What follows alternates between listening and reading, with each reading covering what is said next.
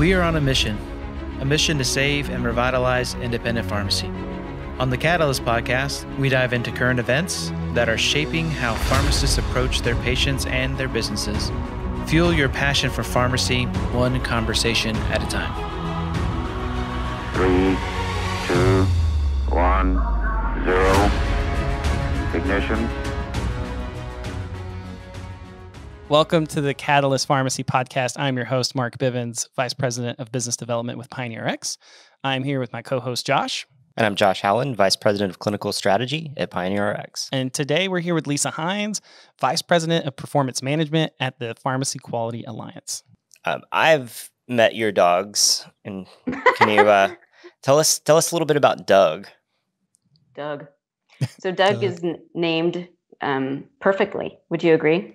Oh yeah, Doug is named Yeah. perfect. I want to hear about this dog. He's dumb. I should bring Like- him in here. Doug, like he's like you know hits his head a lot. You know. Huh. Yeah, Uh, like- but Josh, do, do we want to tell a story about what Doug did to a family member or not? oh yeah. I- I think that's totally fair game. Okay. So Josh's lovely wife was over and giving Doug so much love and saying how sweet he is and what a good boy and petting him all night long. And he could never get enough. And as they're about to leave our house, Doug lifted his leg on her. Oh my Yeah, goodness. All right. But it, Well, his- isn't that a, like a sign of affection? I don't that- know. I, I think Isn't it's a, that like a I really liked her? right. yeah, he's like, I own you. I really liked her. I want to Yeah. keep you. But in- in Doug's defense, he's one of the sweetest dogs. Like he's just super super nice. I got a really dumb one too. Uh, Yeah, Mine's a little brown. I don't know what he is. They think he's a Pomeranian, but he's like 40 pounds. No, He's- 30 he's like pounds, 20 pounds. 25, 30 pounds. And uh, he just is a is a ball of stupidness. Um, yeah, he walks backwards on any slick surface. You have a slick Oh. surface, you're gonna watch my dog moonwalk out of the room. That is That's fantastic. It's so good. I don't know It's if probably effective. it's uh it, it really is. He'll he'll walk in, come say hi to you, and then if you're like on a hardwood floor or you're on a tile surface, he's gonna literally moonwalk back all the way back. that You need to video that. yeah. Like we need video it's like of the that. TV show New Girl and the, Nick That is Nick's awesome. character That gets is a good inside. one. Yeah, yeah, it's pretty. Pretty. He gets really anxious, and he's like, you know what, Moon, welcome back. Can you like, give us a little bit of your background and and how you kind of got into the PQA um, role that you're in? Sure. Yeah. I was engaged as a volunteer at PQA. I was a co chair of one of their working groups and developed many, or, you know, supported the development of many of the measures that I'm happy to support today as an employee of PQA. So it was actually one of my favorite organizations to be engaged in. I loved going to the PQA annual meeting and networking with a pharmacy and quality focus and um, just felt like my people. So I was Nice. I was honored to join their staff. Cool. And so you and I are both um, CVS alumni in a Yeah. Easy. sometimes proud yeah, of yeah, that. easy on this show. um, it- did- so were you involved with PQA when you were back at the CVS area or is this after? I was post CVS. I was in academia. I worked for the University of Arizona um, and was a drug interaction researcher, really? uh, focused on like clinical decision support and other methods to reduce drug interactions. And so I supported the development of the drug interaction PQA measure, as well as the opioid measures. But so that's how I got involved with research. Nice. Uh, you did some. Uh, I, I know we keep going further and further back, but you did some like um, a pharmacist role. I'm going to call it. Sorry, I'm going to butcher this to a degree, but in a in a kind of a physician practice setting. Is that am I right? Yeah, you know this, huh? Ah, I think so. I thought that was really interesting. I wanted to talk about it a little bit. Yeah, old school, old school, but still, um, you know, way back in the day, worked in a family medicine residency training program clinic um, in Ohio, and Ohio is pretty progressive in terms of pharmacy, Okay. and um, it was fantastic. It was great. So medical education had residents and students, and saw patients, and they did billing, incident to billing, and I also did that in Arizona when I was Oh. at Midwestern University there in a family medicine office. So really cool, really cool stuff. So under like a collaboration with that doctor, some type of an agreement with that doctor, you're you're seeing the stuff, you're seeing the patients in the scope of what a pharmacist. Yeah, I mean, I do. don't. It wasn't a formal collaboration. They they billed for what I did, right? Nice. Was the pharmacy don't think there attached to that, one. or you were just the only pharmacist Oh, there? so like, why on earth was I doing this? Yeah. So w- I was I, I was an embedded clinical pharmacist eh, for a health system, Okay. and and it was some, somewhat of an experiment. But I documented my outcomes and A1Cs and smoking cessation rates and things like that. You know, way back in the day, I was measuring. Man. Yeah, Yeah, that's. Yes. That, I mean, really, like I, maybe that was a fairly common thing. I, I, I don't know. That's No. even Yeah. folks now are, are are saying that's really progressive Yeah, yeah. Um, we're still not great at measuring stuff. in general. yeah. There was a clinic pharmacy um, right next door, and worked for this you know same health system, and you know we work together. So, coming out of pharmacy school, like, what drove you to want to measure things? I actually I was trained that way. Um, went to the Ohio State Uh-oh. University. Uh oh, there's always a little tension here have with to- Josh and That's it all a, a everyone. Josh is a uh, University of Texas grad, so they're going to beef probably a little bit on the. Nah, right now, right now, Ohio State's probably got us in the bag for most things. No so. doubt, that's true. Yeah, UT Austin, great school, great school. I hope my daughters go there. Oh yeah. So yeah, I, I think you know what I actually when I was residency trained, I was doing a lot of um, working in the QA, um, quality assurance um, department, and c- learned about metrics then. Okay. So more in the hospital arena. Moving kind of into the measures piece, then Mhm. how, how how does I, I know it? I know you guys work with EQuIPP and and you, what you guys do is develop, test, and and and I really I, I look at it as building a with building a framework in an area that could use some structure for measurement. You think? I am I'm I think I'm close. Um, how how does something like that even come to fruition? So PQA is different than PQS, right? Um, PQA is a nonprofit, um, Mhm. started in 2006 as a public-private partnership um, to assess medication use quality for uh, Medicare Part D beneficiaries. And so PQA has historically, and for the vast majority of our measures, developed health plan measures. And it's kind of a misnomer because people think, oh, pharmacy measures, but it's it's really medication measures at the health plan level. And EQuIPP started as a um, or a PQS, uh, Mhm. Pharmacy Quality Solutions, which is a sister organization to PQA. Right. Uh, has the EQuIPP platform and started as a quality improvement tool for pharmacies to be able to help health plans drive um, on on those measures. Um, is, is largely how that came to be. Um, but PQA's measures are largely health plan measures and were not intended to be used To to to the degree that to- they're being used today. to Yeah, yeah, how yeah, they're being used that. is not how they're intended to being used and so we're doing a lot of work to as to your point um, work through the feasibility and infrastructure and uh, working with you know organizations like yours um, involved in documenting um, clinical um, potential clinical measures for the future for pharmacy. So, well, you know, that's the direction we're heading in is really developing measures for pharmacy evaluation. But um, right now, we ha- only have a few actual pharmacy measures. Right. Because it turns out they're really hard to get. yeah. Yeah, Um, yeah, you know, Right? it's it's one of the things where we were talking, and you know, it's it's crazy that when I graduated in 2008, they were talking about like right around the corner, you're going to get pharmacy lab results, you know, vital sign measures. You're going to be able to send them to these magical health information exchanges, Mm-hmm. and there was this utopia of everybody having all the data, and you know, we all know that Yeah. that just didn't that's happen. hard. Yeah. Right. Yeah. So, I mean, you guys, with your um, being an e-care plan vendor, are able to push clinical data, but you know, have you been receiving any meaningful data? I mean, S- are pharmacists still flying blind? Um, for the most part, um, we've just started earlier, really, I guess earlier this year, Yeah. we finally started with some of the new script stuff that came through. Um, the new script standard on electronic prescriptions actually has a ton of information embedded in it. Um, Okay. And so we started pulling vitals from that. So today, and this is one of those, if the Mhm. EHR Yeah, has if, them set yeah. up at this point and they've Right. registered and certified on the new script standard, they can send over labs, multiple ICD 10 codes, um, and then, you know, height, height, weight, weight, blood pressure, things blood like that. pressure, So yeah.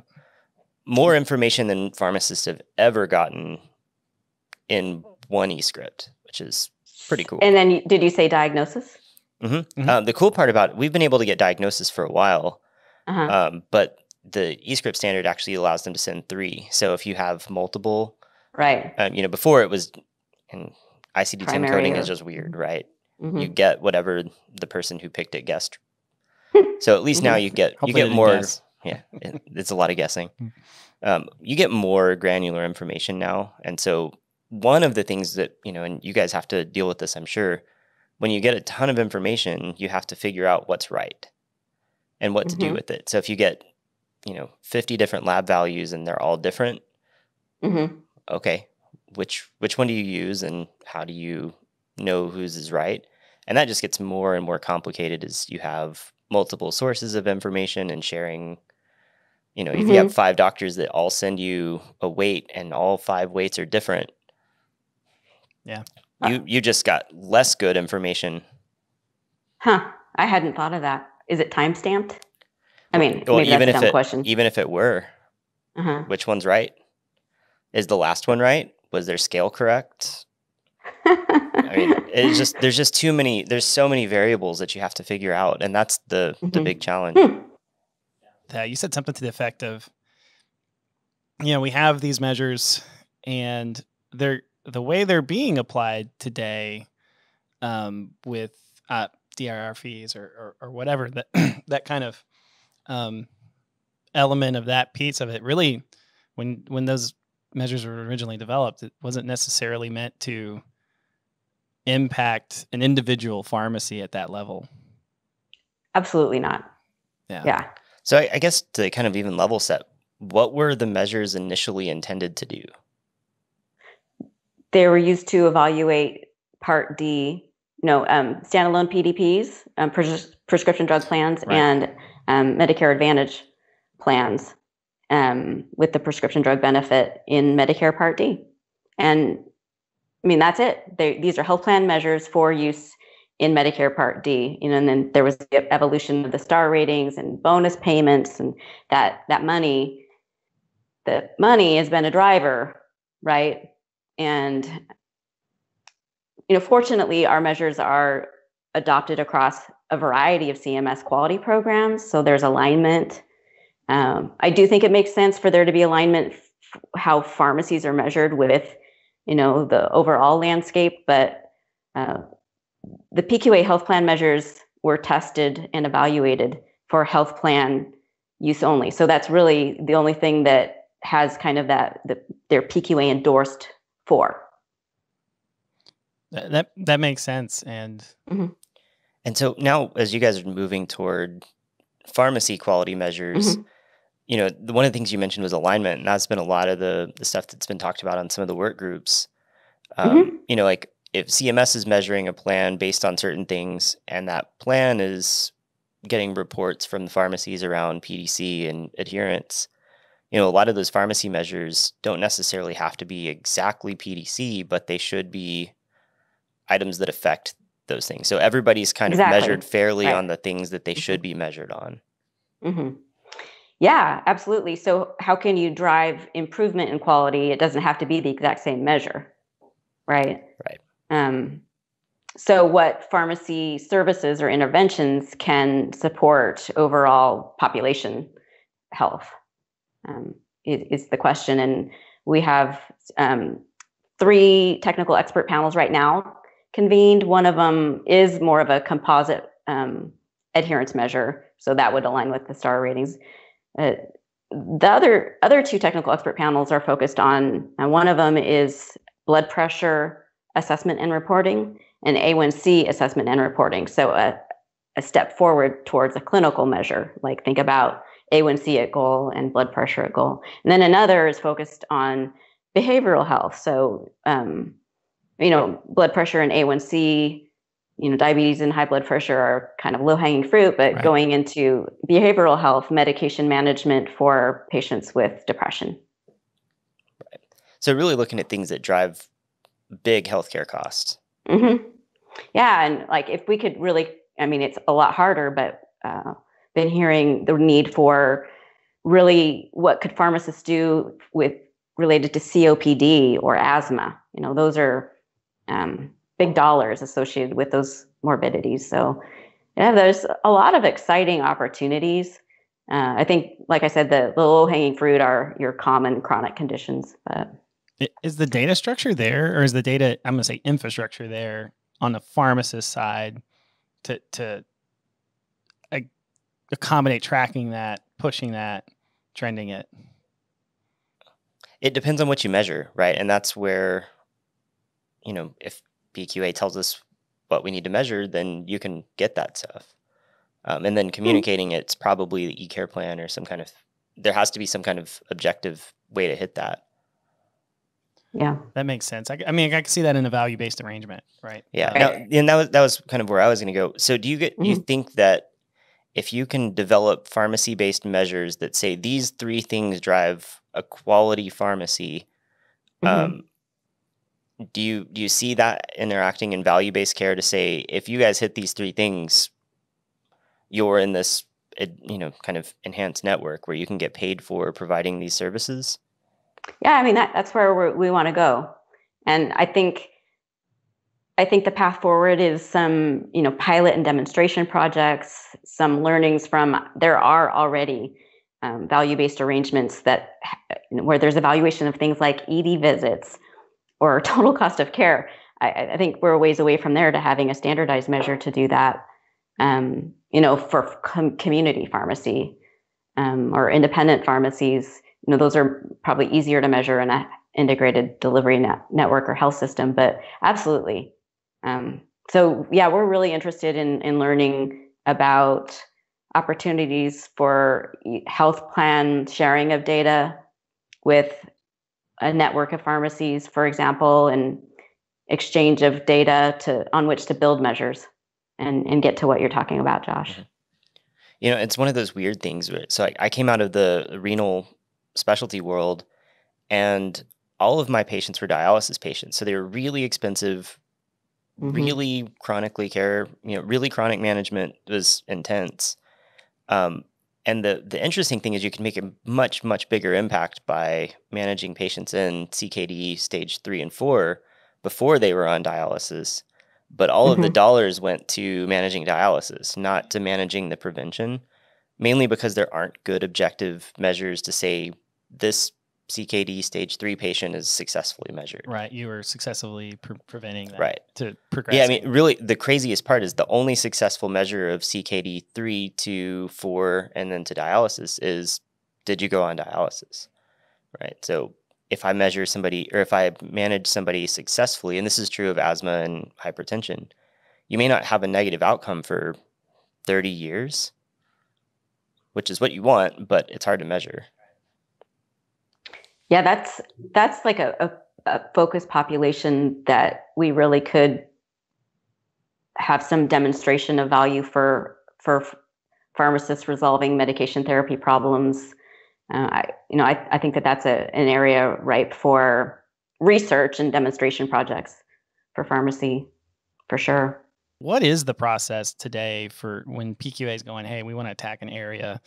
Um, We Mhm. feel like I need some framework. What's the process of getting a measure, I guess, from Genesis to to okay, cool. I think we're we're good. It's complete. It's finalized. But what what's the process of kind of measure development at PQA? Yeah, um, you know, I, I think one of the biggest questions is is what what do you start to develop? How do you Mhm. decide, and who drives that? Um, so PQA, we do still develop health plan measures and develop them based on an identified gap, um, and that's usually through environmental scans, clinical practice guidelines that are evolving, um, where we're having to retire existing measures and develop new ones as the guidelines evolve. So evidence, there has to be evidence. Um, a measure is not important unless it's evidence based and can drive improvements in quality. So there needs to be a quality gap too. Um, and you know, PQA has a consensus based, transparent process where we have um, open comment periods, um, open to the public as well as our members. We have two of those one before we proceed with development, and one before we have a, a, a measure near the finish line.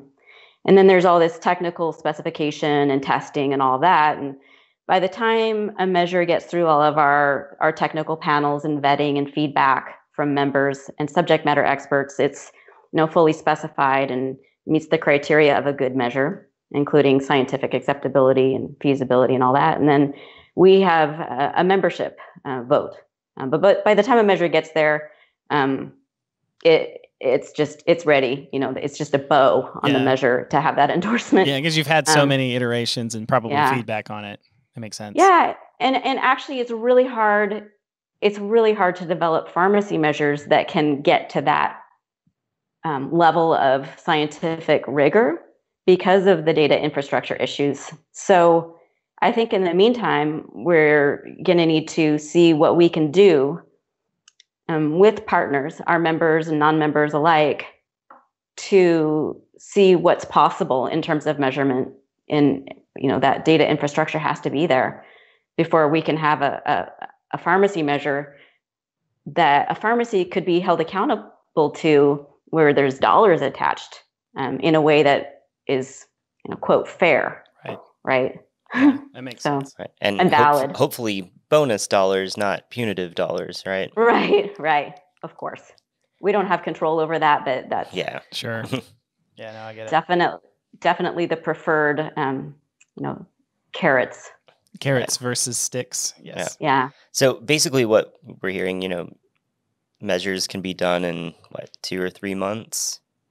oh my gosh no Sounds like a week, I- about a that's- week, week session. That That's sounds like about a laughable. week, Oh. I love it. I love it. Yeah. No, um, I'd say 18 months. Oh, wow.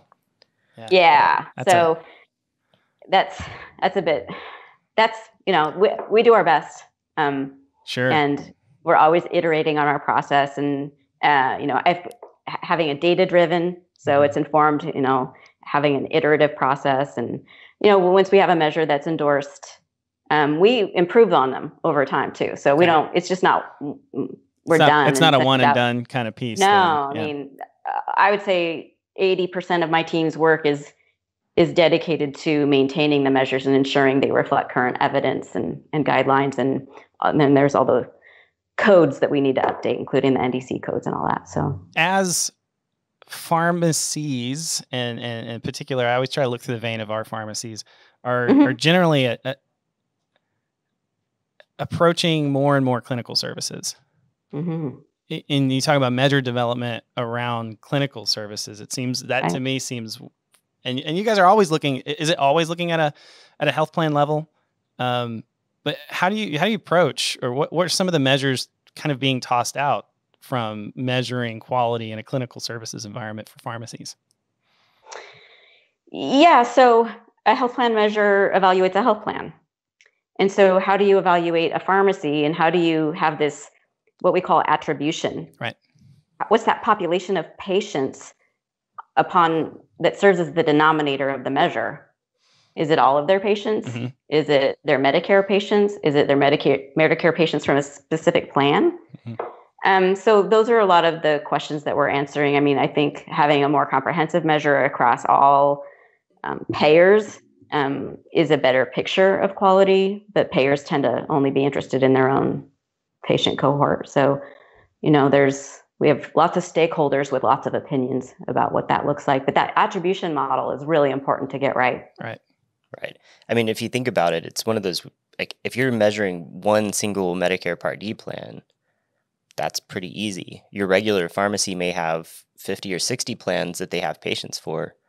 And if you're terrible at 58 of them and great at 2, hmm two of those plans are really happy, the others are not. So it's weird to say like your overall quality is great or bad when it may not be relevant to everybody.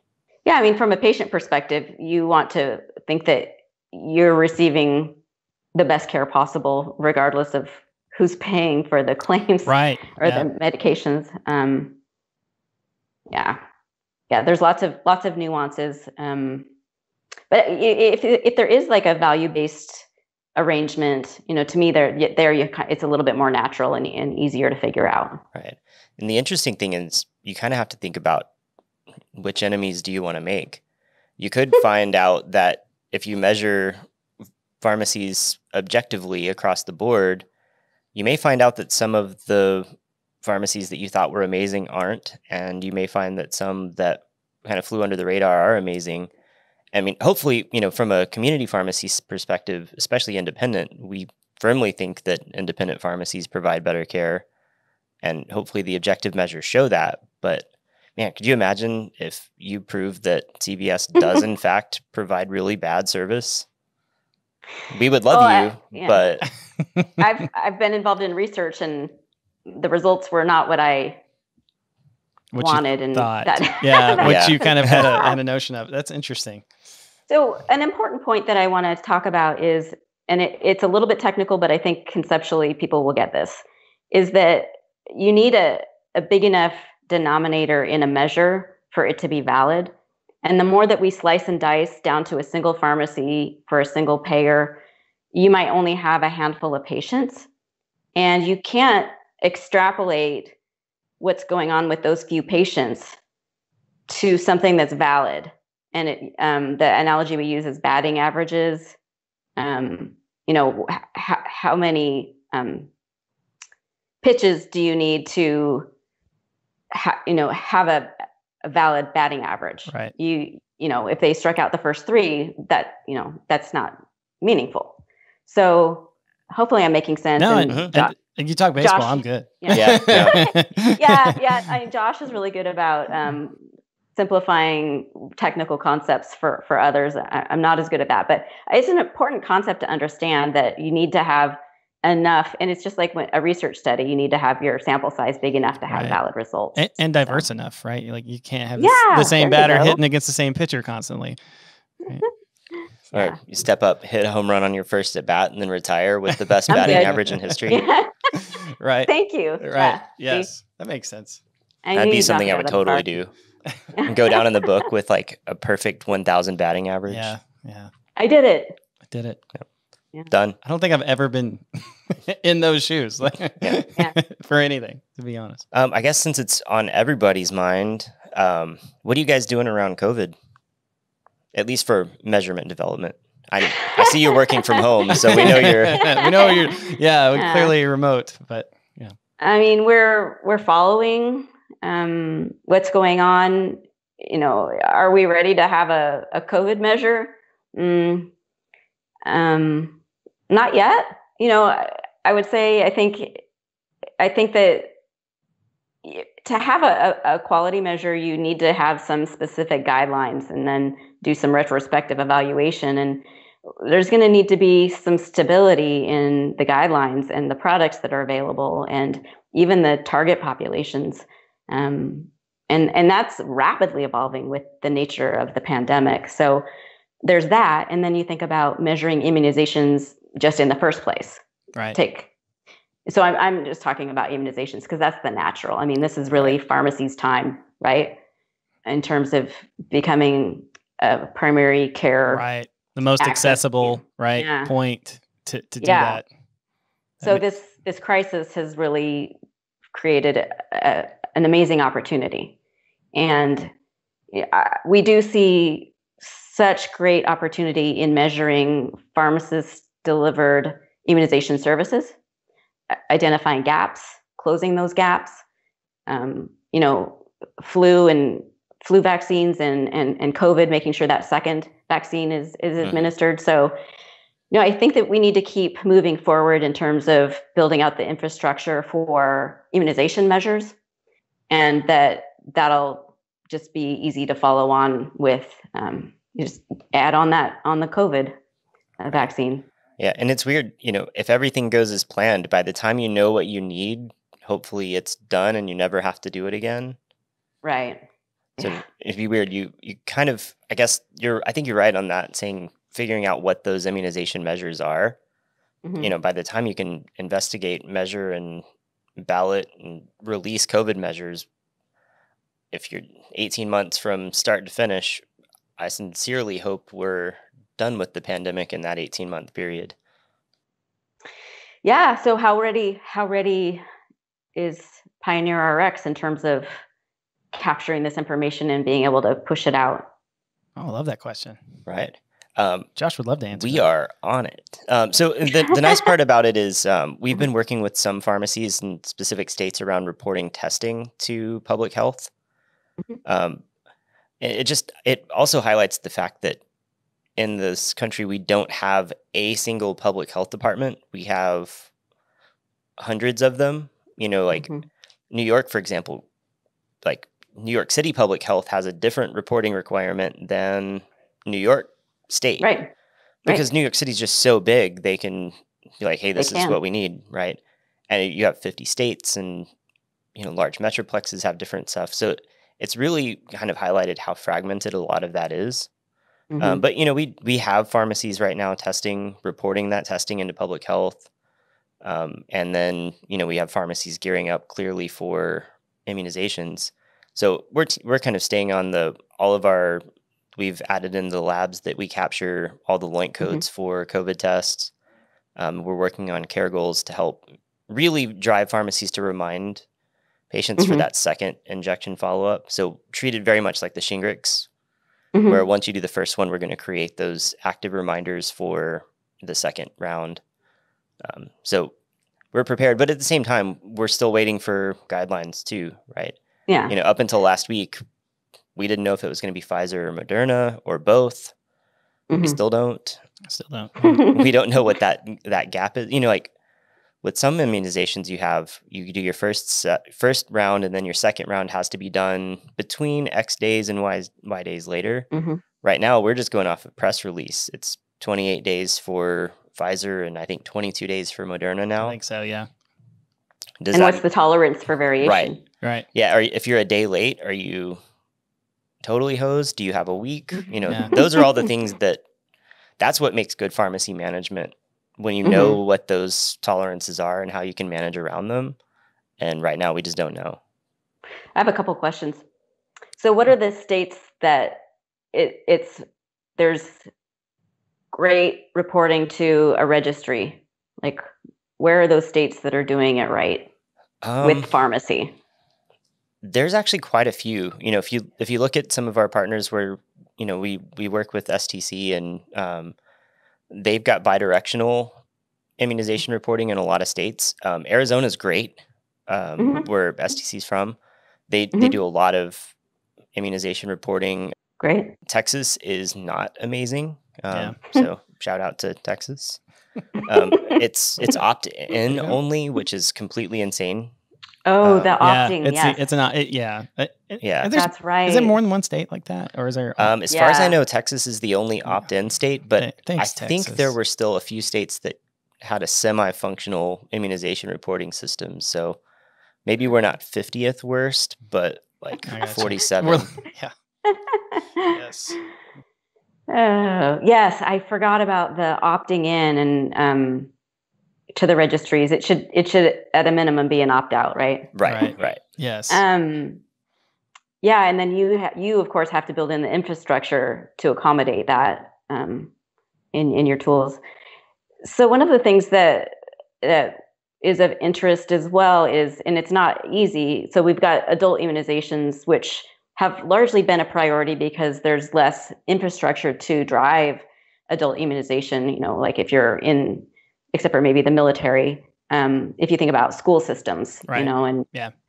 requirements for immunizations with some some exceptions. But with the pandemic and with a decrease in primary care visits, uh, we know that pediatric immunization rates have fallen. And you know, I, I so are you ready to um, support pediatric immunizations? Is that already built out for those? Um, for those states or for those pharmacy systems where that's um, occurring. Yeah, I mean, on our end, we can record them, report them, all the things that Right. pharmacy, as long as the pharmacy is available and and legally able to do those things, Mhm. we're set. Uh, But yeah, you know, you brought up an interesting point with the pandemic. We don't really know what kind of measures that's or what kind of effect on quality that's going to have over the next, you know, two, five, maybe even 10 years where you saw Mhm. people put off stuff that they shouldn't have, Mhm.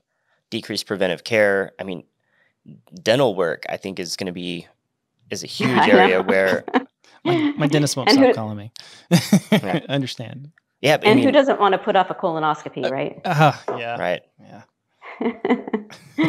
Be, right. Be like, s- yeah. like, yeah, any we- we'll wait. excuse. Any excuse. You know, like uh, you know, in a lot of those things, we have to be prepared to measure the the long term effects of what happened to humans in the pandemic, and a Mhm. lot of that won't be re- realized until Years, yeah. later down the road. I mean, Mhm. even if you think about schools, you know, like Mhm. what happens Mental when health. you Yeah. what happens when you don't really have day to day school for a year. Yeah.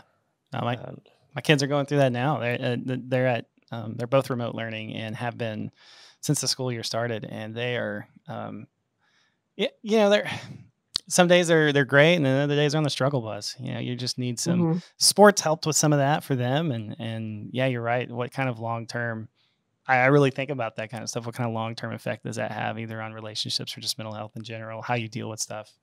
right. Socialization. Yeah, Right. Well, and, and you know, this kind of will wrap it back into like measuring social determinants of health. Mhm. Um, you know, we're all lucky enough to have jobs that we still got to keep through the pandemic, and Mhm. our kids have the ability to, you know, stay at home in a safe place with good internet and Mhm. And and nu- learn their class. right. Right. And nu- yeah, and having you know, but there, there's a large nutrition. number of kids that go to school where that's the only place they've been safe that whole day. Mhm. Mhm. That's the only place they get fed that whole day. Mhm. um, and they actually they don't have cable or internet or anything else at home. And so you've got an entire this huge gap of kids who have the resources and those who don't. Um, and it's just amplified over this last year. And what does that look like? You know those kids are going to go from fifth grade to sixth grade and next year they're going to be wholly unprepared to stay up with Yeah. their cohort.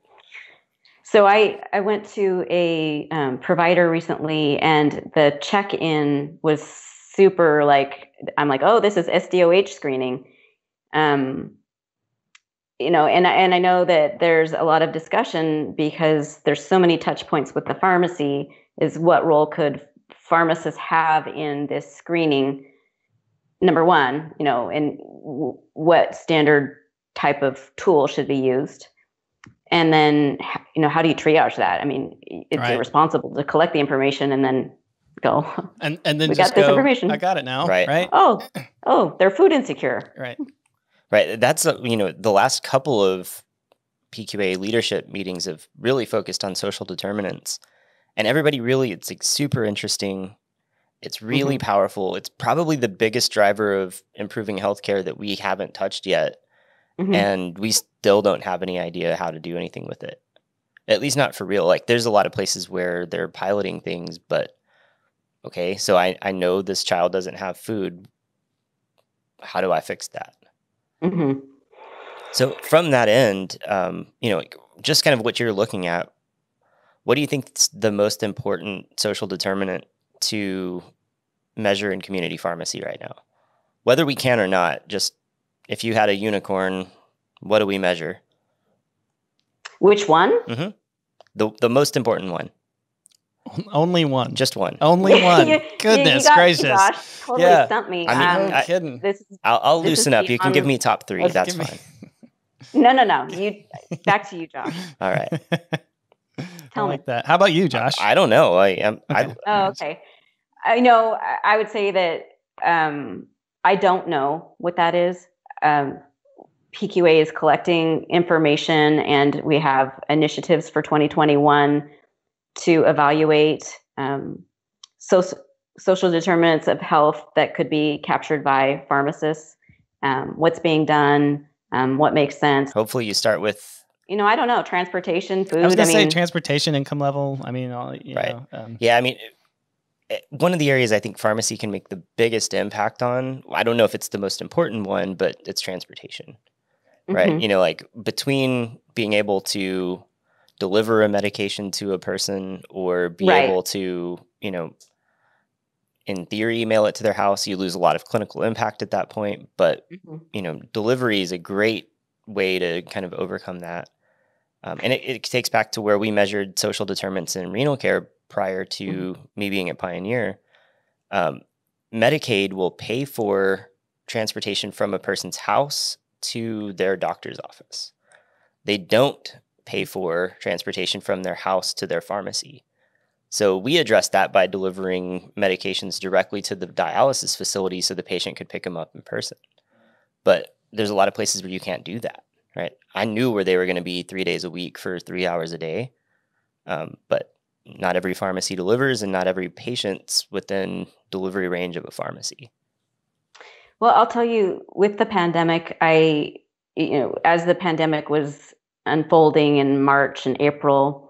And beyond, I started to interview health plans to see how the, the pandemic was affecting potentially their their quality um, ratings know, for the future, and just listened to how much pharmacists and pharmacies have stepped up from from the ha- health plans perspective.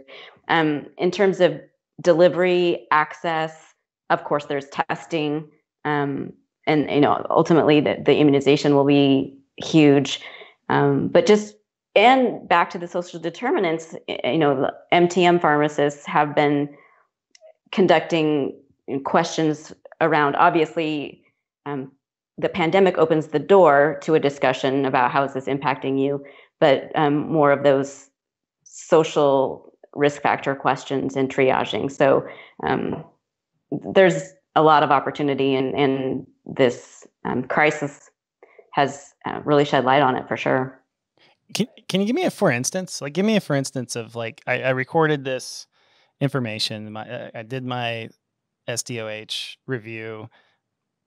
Give me a for instance on, on when you triage something, or, or if you had the ultimate resources, right? Like to, to do that.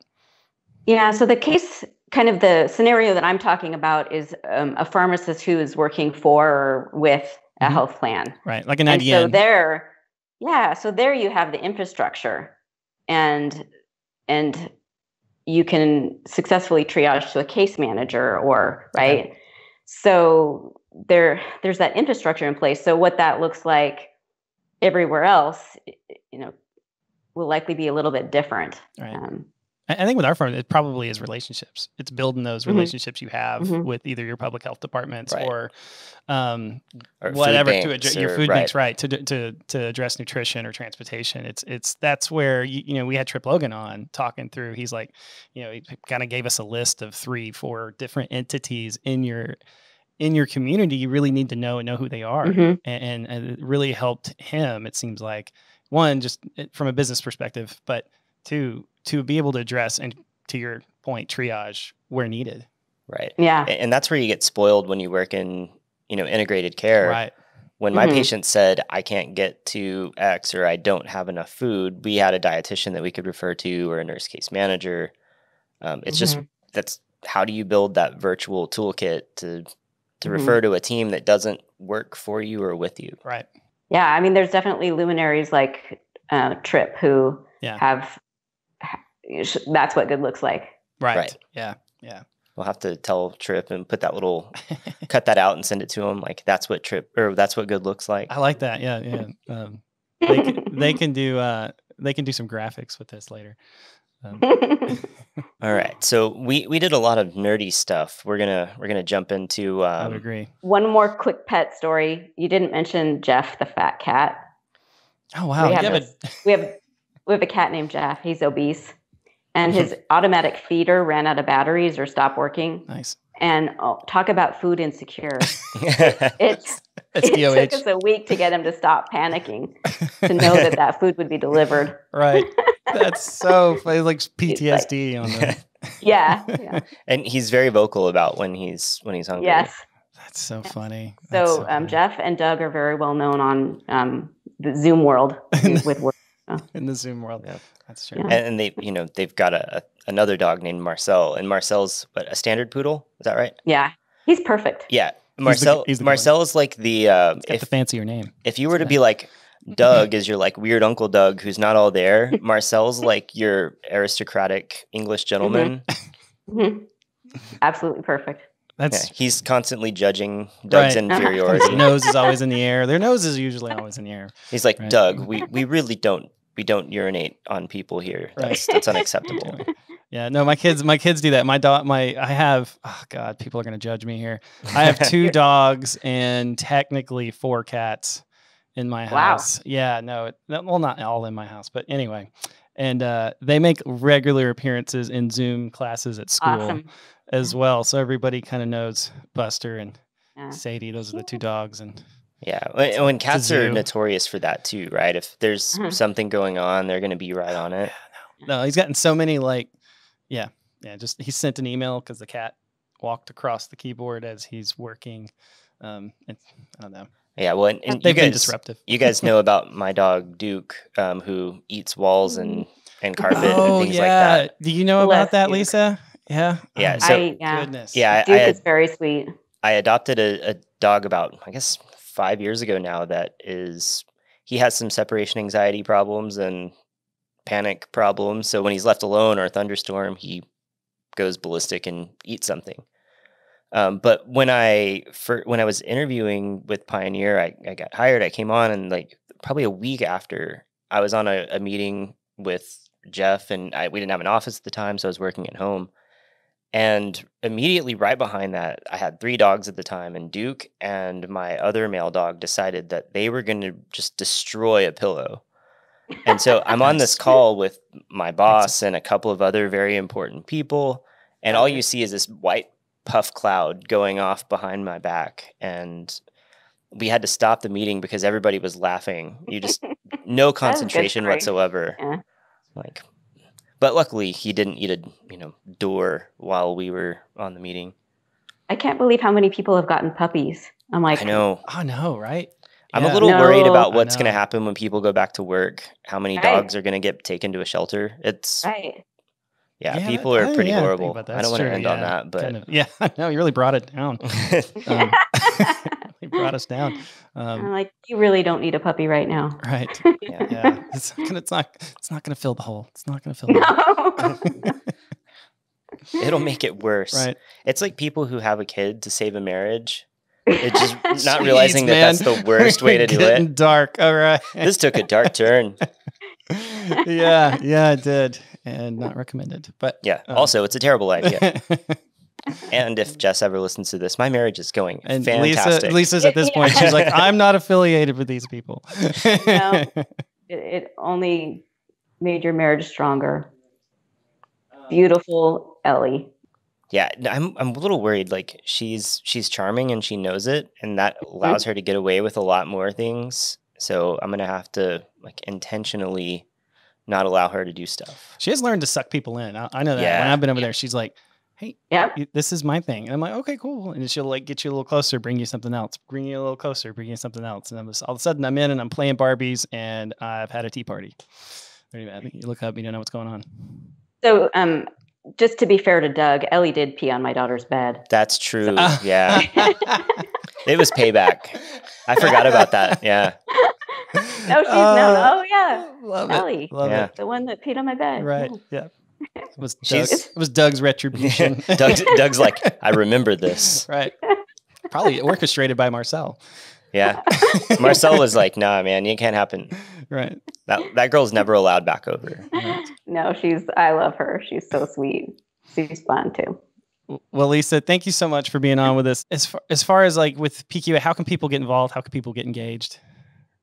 Yeah. Um, well, sign up for newsletters. Mhm. Um, obviously, join. Yeah. You know, that's the best way. Um, but uh, contribute to comment periods when we have measures That that are we're thinking about developing or just about to the finish line. Um, participate in our quality forum webinars that are open. Um, some of them are closed to members only. Um, but yeah, um, we're small. Um, we're very responsive Cool. to to all who reach out to us. So um, just just ping us and and see how you can get involved. Well, great. Well, thank you so much for being on, and Appreciate um, it. Hope you have a good weekend, and, and thank you for for spending an hour with us. My pleasure. Thanks, Lisa. Thank you for listening to this Catalyst podcast. If you enjoyed this episode, please consider liking, subscribing, and or following us. Give us a five-star rating on Apple Podcasts to help us reach more amazing pharmacy people like you. Follow Pioneer Rx on your preferred social media platform for the latest up-to-date pharmacy news and content.